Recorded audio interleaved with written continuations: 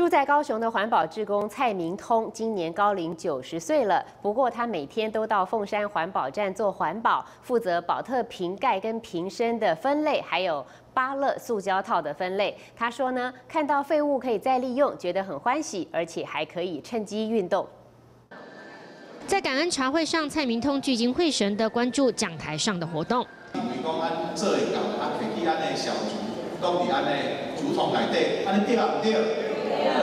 在主持人协助下回答问题，众人给予鼓励。已经九十岁的蔡明通，天天都到环保站报道。原来就是讲，咱要讲有这个废物桶利用的方法啦，啊，就第一代了解讲，安尼做理想。